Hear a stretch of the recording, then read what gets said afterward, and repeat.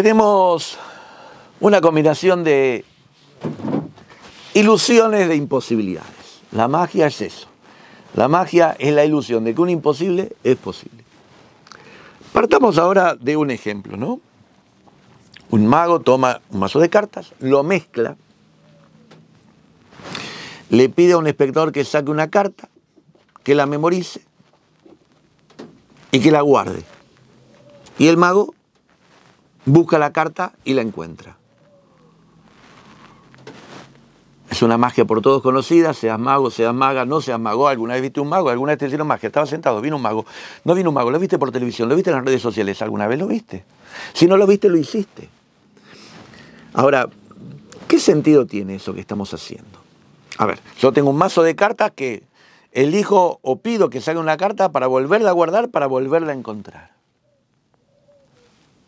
¿Por qué haría eso? Pensemos en el pensamiento infantil. ¿Por qué alguien haría una cosa así? ¿Por qué alguien haría algo para deshacerlo, para volverlo a hacer. Salvo que esté jugando él mismo en una libertad de movimiento expresiva y autorreferencial de darse placer a sí mismo cuando juega con algo. ¿No? Es como el nene.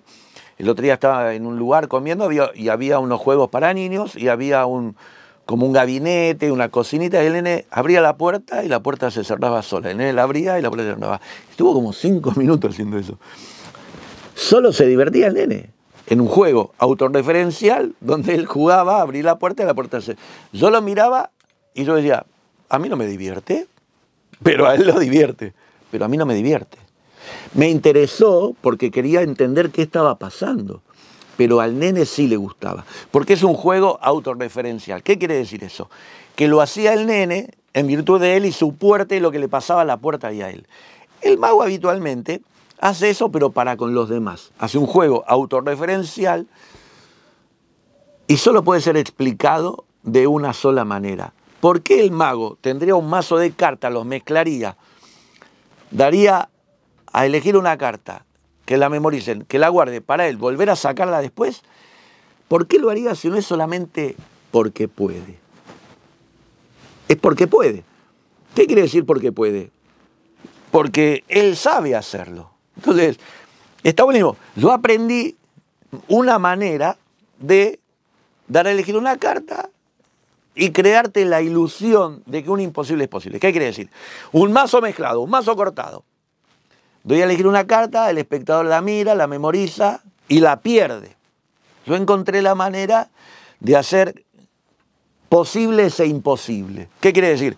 Que una vez que mezclé el mazo, que alguien eligió la carta, que alguien la guardó y se perdió y se volvió a mezclar, es imposible que encuentres la carta. Es imposible, estamos de acuerdo, es imposible. O sea, vos elegiste la, elegiste la carta que quisiste, sí, te la llevaste, la, la memorizaste, sí, la guardaste, vos mismo la guardaste, sí, vos mismo mezclaste, sí, es imposible, es imposible. Estamos de acuerdo que es imposible, es imposible pero yo puedo encontrarla. ¿Y por qué lo harías? Porque se puede, porque se puede, porque está estudiado, porque esto es un arte que tiene sus reglas propias, sus herramientas y sobre todo tiene su técnica. Y a eso vamos. Aprendemos los magos, las magas técnicas y ponemos en práctica técnicas. Es como que yo te diga, mira, voy a hacer arte, esta técnica es el puntillismo. Mira, pa, pa, pa, ¿Te gusta el puntillismo? ¿Te gusta el puntillismo? Mira, tengo puntillismo. Mira, ¿viste el puntillismo? Mira, ¿qué dibujé? Nada, una, puntitos. ¿Y qué hiciste? Nada. Entonces, no, no, no hiciste arte. Me mostraste una técnica. Me mostraste una técnica. Toco la armónica. Escuchaste bending. Eh, ¿Escuchaste el bending? Trae de vuelta. Eh, ¿Escuchaste? Sí. Me sale genial, sí. ¿Y qué hiciste? Bending. El que no sabe qué es vending, googlea. ¿Pero y qué hiciste? Vending. Y eso, mostré una técnica. Pero es una técnica, es una técnica. No, no emociona. En verdad estamos hablando de la monoemoción. En el caso de la magia. ¿Qué es la monoemoción? Es el asombro. ¿no? Un asombro que se da ante lo grandioso de un imposible. ¿Está mal?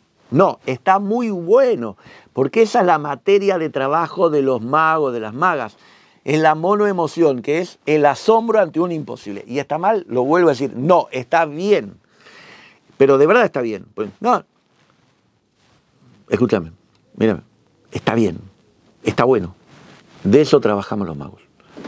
De la ilusión de un imposible posible. Está muy bien. ¿Se puede hacer más? Claro, claro, claro. Ese es el tema. Sí se puede hacer más. ¿Cómo sería eso? Bien, te voy a partir ahora por otro lado, ¿no? ¿Qué es la verdadera magia? La verdadera magia sucede cuando nacemos. Ahí es cuando viene la primera magia. Magia no es algo que atenta contra la ley de la luz. Está, está buenísimo eso. Magia es todo imposible que... Magia... No, no. Hay algo más primitivo que todo eso. La magia sucede cuando tenemos minutos de vida. En la historia de la humanidad sucedió y sigue sucediendo hasta nuestros días, que es lo que crea el pensamiento mágico en la mente. No en mi mente, no en la tuya, en la de todos, en la de todas las mentes. Ese pensamiento mágico es necesario y existe. Y gracias a que existe ese pensamiento mágico, los magos de la maga podemos hacer magia. Sucede cuando cuando nacemos y tenemos hambre. Ese es el primer pensamiento mágico. Los bebés, las bebés, nacen y quieren teta. ¿Y qué tienen? Teta. Quieren tomar la leche, tienen hambre. ¿Qué le da la mamá? La teta. Y toman la leche. Ese es el primer pensamiento mágico. ¿Por qué es un pensamiento mágico? Porque la magia es la satisfacción inmediata del deseo. Esa es la verdadera magia. ¿Qué quiere decir eso? Te lo voy a explicar ahora en la otra punta de la vida donde estás parado vos. ¿Te gustaría, si vivís en Perú, te gustaría si vivís en Colombia, en Venezuela, en México, en República Dominicana, te gustaría si vivís en Chile, en Argentina, en Uruguay, que yo te diga, ¿te gustaría estar ahora mismo en la costa del Mediterráneo, en la playa, al sol, un trago, mirando el mar calentito. Calentito no, calor, calentito, tranquilo. ¿Te gustaría? Sí. Magia, estás. Eso es magia. ¿Qué quiere decir? Imaginarse un deseo y satisfacerlo inmediatamente. Esa es la verdadera magia. Esa es la verdadera magia. No importa a qué edad de la vida sucede. Si apenas naces, tenés hambre, necesitas comer, te aparece algo que no sabes qué es, que te alimenta y que te da placer y felicidad y te quedas dormido. A esa edad la magia es eso. A tu edad la magia es aparecer en la costa del Mediterráneo tomando algo calentito mirando el mar. Eso es magia. La satisfacción inmediata del deseo. Entonces, hay dos lugares para pararse. Nos vamos a parar en un lugar donde hacer magia porque puedo, para demostrar que yo hago magia. ¿Por qué? Porque puedo o vamos a trabajar para el público en satisfacer un deseo de la gente. La magia tiene que llegar para satisfacer un deseo. La magia tiene que llegar para encontrar una solución. Si vos estás con el agua que te está perdiendo en el baño y te estás perdiendo agua en el baño y vienes, estás perdiendo agua, tenés que solucionar esto. Se te cae el agua, se te está inundando el baño. Ah, sí. Mira, no pierde más. ¿No está buenísimo? ¿No es eso la magia? Entonces, ¿cómo tenemos que plantearlo? Tenemos que encontrar un problema para que la magia sea la solución. Dejar de hacer magia porque puedo. La magia no está primera y le encuentro una forma para justificar mi magia. Se nota, se nota que hay una magia que vos querés mostrar, porque la compraste y te salió mucha plata y la querés justificar. Porque la viste en manos de otro y decís, uy, yo quiero hacer eso también, porque tu ego también te dice, y yo quiero hacer lo que hace el otro. También puedes querer hacerla porque de verdad tu ego te lleva a pensar que haciendo esa magia vas a ser alguien muy importante. ¿Por qué? Porque está mostrando una gran imposibilidad en tus propias manos. Todos motivos que son conducentes únicamente en un pensamiento infantil como el del nene que cierra una puerta, abre una puerta, cierra una puerta, en un juego autorreferencial. ¿Para qué? Para que te aplaudan. ¿Para qué lo vas a hacer? Para demostrar tu poder. ¿Qué poder? Que sos mago y que sabes, que tenés un conocimiento, tenés una técnica que aprendiste. Dale, es una posibilidad. ¿Está mal? No, está muy bien. Yo lo hago. Yo lo hago. Si me vas a criticar, critícame ya, pero es que te voy a decir que sí, yo lo hago. Yo, lo hago. Yo también lo hago. Y sí, todo, todos estamos haciendo esto un poquito porque necesitamos cariño, necesitamos amor, necesitamos que nos abracen, necesitamos que nos aplaudan, necesitamos que nos digan que somos genios, grosos, qué increíble tu trabajo. Y además dinero, eso también está bueno. No digo que no, todo eso también. Si vas a criticar, ahora si ya podemos avanzar. Dale, déjemelo. Listo, buenísimo. Entonces, ya me lo dijiste, te espero. Ah, vos también. ¿Ya está? Bien. Ahora, ¿lo hacemos para una cuestión autorreferencial o lo hacemos para solucionar un problema? La magia debe venir para solucionar un problema. Si hay una necesidad y se soluciona por medios técnicos y claros, no es magia. Llamé a un plomero, vino, rompió la pared y arregló el caño. Yo chasqueo los dedos, no gotea más, es magia. Entonces, la magia debería llegar para solucionar un problema, no para construir otro. ¿Cómo lo hace? Porque ahí nace ese pensamiento que tanto digamos los magos. Y el espectador no para de decir, ¿y cómo lo hace? ¿Cómo lo hace? ¿No? Y, y, algunos hasta pueden saber cómo se hace porque lo vieron en alguna parte. Y nosotros estamos locos con eso, como, ah, pero entonces, ya sabe cómo lo hago porque lo vio.